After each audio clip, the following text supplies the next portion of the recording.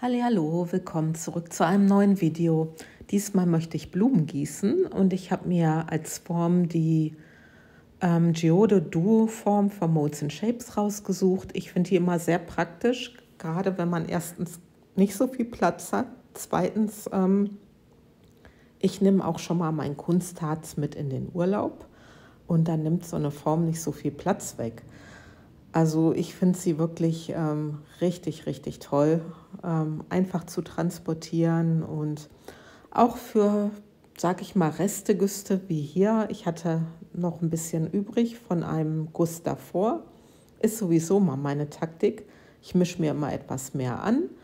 Dann mache ich halt meinen ersten Guss und bis ich dann fertig bin, ist halt das Harz so weit, dass ich es für die Blumentechnik benutzen kann.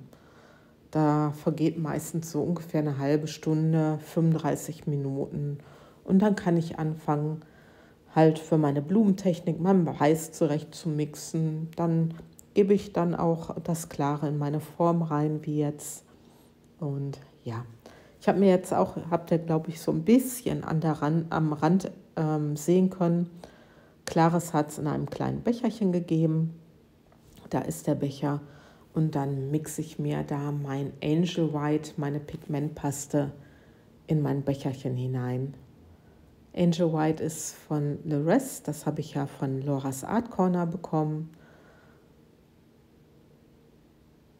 Ich rühre das mal eben so ein bisschen durch und dann nehme ich ein bisschen, was dann noch am Spachtel hängen bleibt. Das nehme ich dann für mein Weiß. Normalerweise ähm, wische ich mir auch so ein bisschen den Spachtel nach einer Zeit ab, nach Mengen, um dann zu sehen, ähm, wie opak ist mein Weiß. Am besten ist es, das Weiß nicht zu opak zu mischen, so dass ihr immer noch den Spachtel so ein kleines bisschen durchschimmern sieht. In dem Fall, diesmal habe ich es nicht gemacht, weil ähm, ich habe ungefähr selbst so ein Gefühl, wie ich mein Weiß anmische. Und von daher alles gut. Jetzt nehme ich nochmal mein Dotting-Tool, gehe am Rand entlang, versuche alle Bläschen zu erwischen. Gelingt mir auch nicht immer, werdet ihr auch nachher sehen. Aber ich versuche es immer so gut es geht. Und auch falls da noch ein Härchen oder sonst was in der Form ist, das mal eben herausfischen. Ja, dann suche ich mir meine Resin-Inks raus, welche Farben ich verwende und ich nehme als erstes das Strawberry. Das ist von Octopus. Und meine zweite Farbe, die habe ich glaube ich gar nicht in der Kamera gezeigt, das wird das Smurf sein. Ich habe gedacht, die beiden Farben passen gut zueinander. Ja, und dann habe ich ja das Strawberry in der ersten Form in die Mitte mit zwei Tropfen getropft und jetzt gehe ich der Form entlang und tropfe mir an der zweiten Form halt am Rand entlang mein Strawberry. Dann nehme ich das Smurf und gebe einen Tropfen oder auch zwei Tropfen. Was mache ich da? Nein, zwei, so wie bei dem roten. Gebe es bei der einen Form in die Mitte hinein und dann um meinen roten Tropfen dann das Blau habe gedacht, das ist eine ganz gute Farbkombination. Dann nehme ich mir mein Dotting-Tool und mache mir so ein bisschen mein Design. Und das ist total lustig, dass Blau und Rot komplett anders reagieren. Ihr werdet das gleich an dem zweiten Untersetzer sehen. Hier ist das Rot richtig so schön ähm, zusammengeschrumpft und das Blau, das bleibt einfach so. Ist schon ganz lustig. Also wie die Farben teilweise dominant sind, wie sie reagieren im Harz. Also Wahnsinn. ja, dann nehme ich mir mein Becherchen. Also mein Weiß ist wirklich so, wie ich es haben wollte. Habe das jetzt nicht noch groß überprüft, weil, wie gesagt, ich habe so das Gefühl dafür. Und dann werde ich aus dem Becher heraus eine Spirale gießen. Ich finde, das ist immer wirklich die einfachste Technik, habe ich ja auch schon oft in meinen Videos erwähnt, aber es ist die einfachste Technik, auch eine wunderschöne Blume zu gestalten. Ne, ich gieße halt aus meinem Becherchen. Wer, wer sich da nicht so ähm, sicher ist, der kann gerne aus dem Spritzbeutel gießen. Das ist natürlich selbst, jedem selbst überlassen, wie er es gerne hätte. Und ihr seht, ich gebe dann meine Spirale hinein,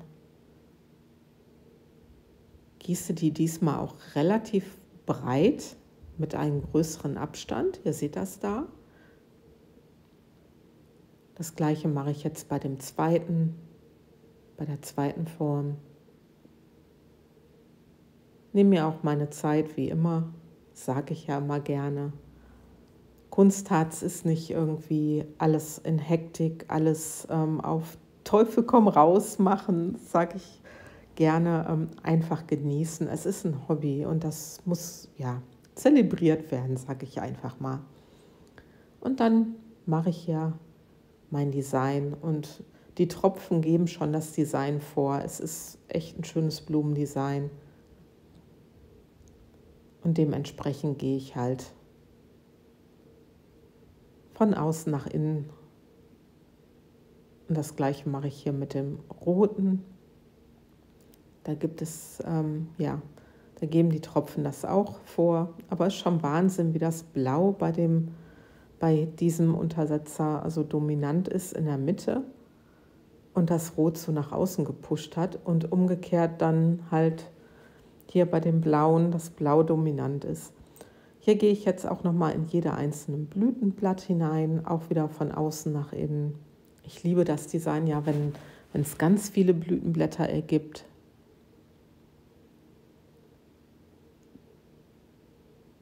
Das gleiche mache ich hier mit meiner hoffentlich rot werdenden Blume. Sieht gerade nicht so danach aus. Ja, es ist immer das Herausfordernde an Kunstharz. Und dann gebe ich immer noch einen kleinen Wirbel in die Mitte. Habe mich diesmal für den Wirbel entschieden. Ich werde kein Glitter in die Mitte geben. Ich finde es manchmal auch sehr, sehr schön ohne Glitter. Also es kommt immer nach Lust und Laune bei mir an. Nochmal eben mit dem kleinen Sturmfeuerzeug drüber. Ja, und dann kann ich auch schon am nächsten Tag entformen, beziehungsweise ich habe diesmal, glaube ich, zwei bis drei Tage gewartet, weil ich hatte keine Zeit zum Entformen. Und dementsprechend sind die natürlich jetzt wirklich ausgehärtet, da ist nichts mehr weich.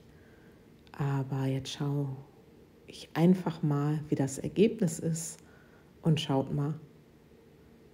Sind die nicht schön geworden? Also ich finde das richtig toll mit dem Rot in der Mitte und außen, das Weiße, was sich da, wie sich das Blau da verhalten hat, gefällt mir sehr, sehr gut. Und jetzt mein rote, meine rote Blume und schaut mal hier, auch sehr, sehr toll, also gefällt mir sehr gut.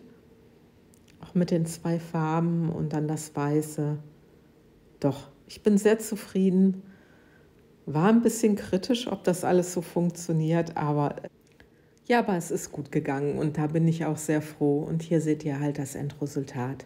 Ich hoffe, das Video hat euch gefallen. Würde mich über einen Kommentar freuen, über einen Daumen hoch und hoffentlich sehen wir uns zum nächsten Video. Ich sag mal, bis dann, passt auf euch auf, eure Petra. Tschüss.